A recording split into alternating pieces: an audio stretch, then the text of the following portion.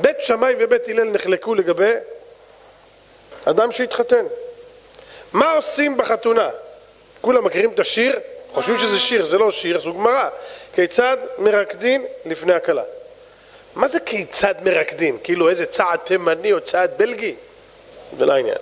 כיצד מרקדים זה מה אני אמור לומר בריקוד. הרי עיקר שמחת חתן וכלה זה לשמח אותו, את החתן, שהוא באמת עשה עסקה טובה. שהוא לא נפל בפער. שהוא לקח אישה טובה. בית הלל אומרים, בית שמאי אומרים, בית הלל אומרים, כלה נאה וחסודה. תבוא אליו ותגיד לו, שמע! כלה נאה, ממש יפה, וגם חסודה. שמע, היא יש לה מידות טובות. בית שמאי אומרים, לא. אתם יודעים מה בית שמאי אומרים? כלה כמות שהיא כלה. מה זאת אומרת? תגיד לו את האמת. אמרו להם, תקשיבו טוב על הטענות של בית הלל ובית שמאי.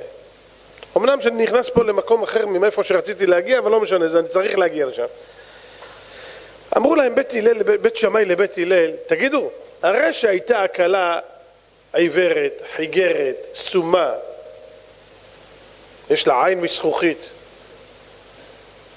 יש לה רגל פרוטזה, יש לה אף כמו תפוח אדמה כזה גודל. אני יודע, האוזניים שלה כאלה, השיער שלה כזה, היא מחייכת, אם אתה מסתכל עליה אתה מקבל חרדות וסיוטים. תגיד לי, כאילו, מה תגיד לו, אה, אה, נאה? מה נאה? איך אפשר להגיד נאה על דבר כזה, ריבונו של עולם? זה הרי לא גוף ולא דמות הגוף, זה, זה לא מתחיל. מה? זה הטענה של בית שמאי. אתם יודעים מה בית הלל עונים להם? אמרו להם בית הלל לבית שמאי, הרי שחברו קנה מקח בשוק. חבר שלך קנה משהו. מה אני אמור לעשות? ישבחנו בעיניו או יגננו בעיניו? תגיד לי, אחרי שהוא כבר קנה, מה אני אמור לעשות? להגיד לו כל הכבוד? ולהגיד לו, אה, מה קנית? מה אני צריך לעשות? אחרי שהוא כבר קנה, לפני שהוא קנה לא דיברנו. אמרו להם, ודאי שצריך להגיד לו שזה טוב. מכאן אמרו חכמים, לעולם תהא דעתו של האדם מעורבת עם הבריות. מה זה מעורבת עם הבריות? אל תגיד לו מה אתה רוצה להגיד, תגיד לו מה הוא רוצה לשמוע.